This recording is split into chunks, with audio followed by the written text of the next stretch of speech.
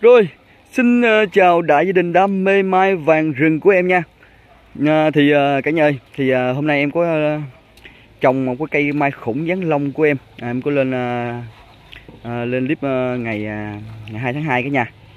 Thì à, nhân đây thì em cũng à, mong được chia sẻ với cả nhà một số cách trồng à, những cách xử lý mai cơ bản em gọi là cơ bản vì cây mày cây này không có khó cả nhà vì cây này rễ rất là nhiều nên em gọi là những cái cơ bản thôi đó còn à, hôm nào sẽ em làm một clip mà về mai không bầu cho cái nhà à, cùng à, tham khảo nha.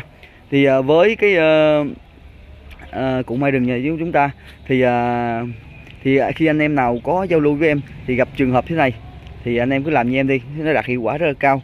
Thì cái cây à, bên em à, làm bầu riêng cái nhà thì khi chúng ta về ban đầu tiên bắt đầu thì chúng ta sẽ xé một cái lớp băng keo và lớp bao. Thì trong đây là em cũng đi lớp bao và lớp băng keo chúng ta rút ra à, khéo tay nha cả nhà. Vì trong đây có một lớp dây thun. Cái lớp này là quyết định nè cả nhà. Lớp dây thun này là, là để à, bảo quản cái bầu đinh cả nhà. Nó thì cả nhà biết rồi ha. Nhờ những cây mai rừng á, thì à, nó xuống tận cùng rễ thì nó mới có rễ cám. Đó. ví dụ như hai cái rễ thế này. Đây cả nhà. Đây rễ này thì chỗ nào phần này nó không không có rễ cám. Rất hiếm cả nhà. Cũng có nhưng mà nó hiếm cả nhà ha. Đây như phần này phần này là đi tới vùng đoạn này rất là to như thế này. Đó. À, mặt cắt này khoảng 20 thì nó không có rễ cám cả nhà ha. Nó không có rễ cám. Đó. Nhưng mà những cái rễ này là cái nhà mới là những cái rễ quyết định. Bởi vì khi ờ, cái nhà thấy em bán cây mà em ờ, gửi đi em giữ rất là kỹ những cái rễ nhỏ. Nhất là những cái rễ mà càng nhỏ thì trong đó rễ cám nó tẻ ra rất nhiều. Đây như một cái một cái rễ này là một cây mai mà được một cái rễ này thôi cả nhà thì đã quyết định sự sống của cây mai vì nó tiếp sức vào và nó sẽ kéo nhựa phần này và bén rễ phần này rất là nhanh. Đó. Đó cả nhà ha. Thì cái nhà có thấy nè cái này cái nhà thấy rễ cám nè. Rễ cám rất là nhiều nha cả nhà. Đó. Quan trọng khi chúng ta lấy bầu là cái người bán người khai thác là phải có tâm. Vì uh, mình chắc chắn lấy tại vì cái nhà đào xuống cái nhà sẽ biết có rễ cám hay là không ngay luôn. Đó. Nhưng những cái rễ này rất là uy tín, rễ cám cực kỳ là uy tín luôn cả nhà. Nó tẻ ra một rễ nè, và một một rễ nó đâm vào đây. Một rễ đâm vào đây cả nhà. Nó một rễ đâm vào đây. Chưa kể cả những cái rễ nè, thêm một cái rễ này nữa nè cả nhà. Đây. Những cái rễ này là những cái rễ uy tín cả nhà nha. Rễ cám cực kỳ là dày luôn. Đó.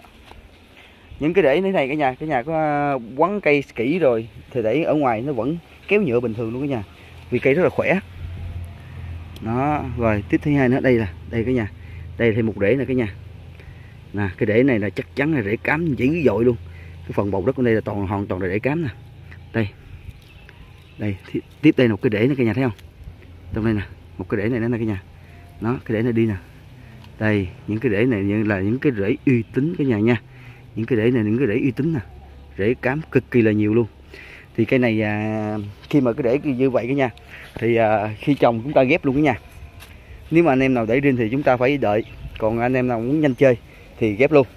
Đó ghép luôn. Rồi mà khi chúng ta xui bầu ra đó cả nhà thì uh, chúng ta nên kỹ xíu là chúng ta bo những cái đậu sẹo này lại cả nhà. Những mặt cắt này nè chúng ta sẽ bo lại. Bo và chúng ta chích keo lại kỹ cả nhà nha. À, vì ờ, nước khi mà nó chưa kéo nhựa mạnh nó cái cái sớ gỗ này nó bị lòn nước vô nó sẽ bị thúi cả nhà ha. Đó. Rồi những cái cơ bản. Rồi uh, sau khi chúng ta đã uh, chích keo xử lý rễ thì uh, uh, chúng ta sẽ tiến hành trồng ở nhà nha. Thì uh, em có lấy uh, lấy cái màng uh, có nhiều anh em dùng màng thức ăn còn uh, em thấy màng thức ăn nó cũng chưa có êm bằng cái hàng này. Cái này uh, cái loại này là dùng cho uh, dán uh, keo dán. Ke cái này keo dán để mấy cái cửa nhôm khi người ta giao đó nha. Nó khỏi bị chày xước đó. Loại này rất là dẻo. Mình kéo ra rất là dẻo luôn. Đó cái này ghép cây càng càng tốt nữa nè. Nó có cuộn nhỏ nữa cả nhà. Đó. Rất là dẻo. Kéo căng áp sát vào da. Thì mục đích chúng ta kéo căng áp sát da thì mình à, giữ ẩm cây thôi. Mình giữ ẩm cho cây. Thì cây này em chỉ trồng như đây thôi tại bộ rễ nó quá nhiều rễ rồi.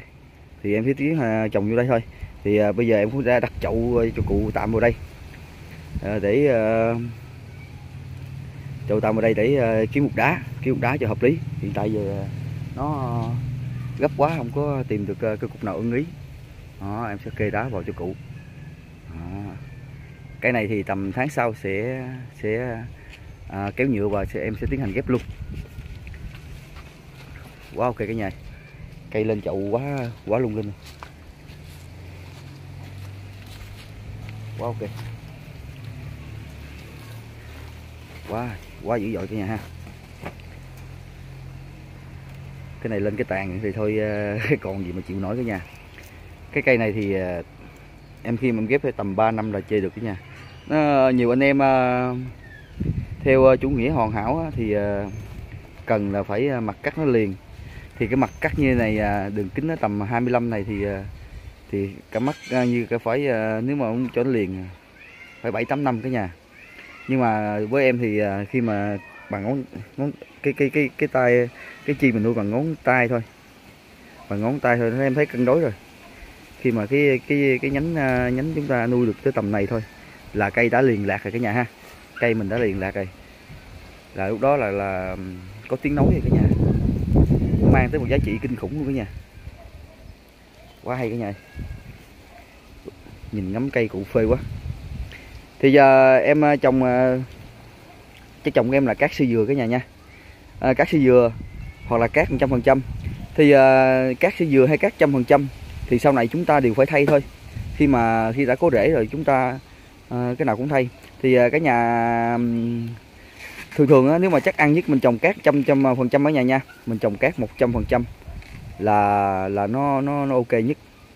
Thì à, trong môi trường nó sạch nó, nó thoáng nước cây chúng ta sẽ bắt rễ rất là nhanh. À.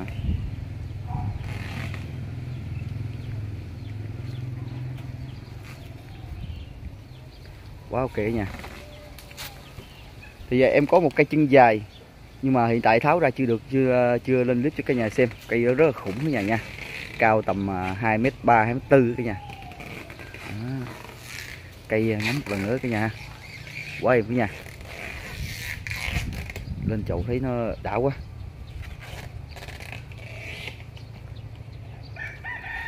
Thì à, kích rễ của em thì à, cả nhà có loại nào thì dùng loại đó. À, càng mạnh càng tốt. À, trên thị trường có nhiều rất là nhiều loại à, như Ibaka, Việt Tiệp. À, nhưng với em thì em à, sử dụng quen rồi cũng à, M3N kết hợp với Atonic cả nhà nha. M3N kết hợp với Atonic xong thôi. Đây à, đối diện à, đây là một cây hình à, tám mấy tám mấy nha. Nhà em à, nuôi là năm rưỡi cái nhà như năm rưỡi tay cành được như đây cái nhà? Rinh cái nhà. Đây dòng này hoa đẹp rinh. Đây đây là cũng một cây em trồng đây. Trên đó cũng khá hay có cái tổ chim đó cũng khá hay cái nhà. Đây có hai à, con chim uh, con trên đó.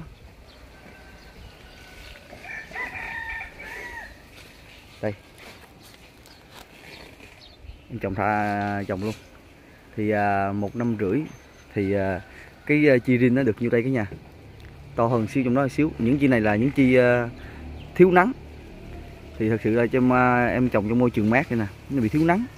Thực sự là mình à, cho ra nắng rất là sung cây rất là sung. Chi sẽ to hơn cái này nhiều chứ không có nhỏ nhỏ gì đâu. Tại cái này là nó thiếu nắng cái nhà ha thiếu nắng. Thì à, dưới đây dưới cái một tán cây nữa dưới một tán cây nữa nên à, bị thiếu nắng rồi à, sắp sửa em sẽ chuyển ra luôn. Ra vườn trong lại cho có nắng. Quá wow, ok cái nhà.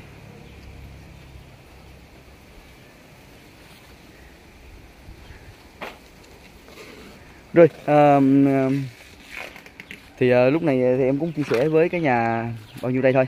Rồi uh, cái nhà có những gì thắc mắc thì cứ liên hệ uh, tiếp tục với em nha. Thì uh, cái này uh, chúng ta sẽ đón kết quả vào tháng tới à, tháng tới cái nhà nha. Nếu à, cây à, à, phát triển nhanh thì em sẽ tiến hành ghép sớm. À, rồi để có cái chúng ta cùng ngắm cả nhà ha. Rồi em xin phép tạm biệt cả nhà tại đây ạ. À. Ờ, chúc cả nhà có nhiều niềm vui và sức khỏe cả nhà nha.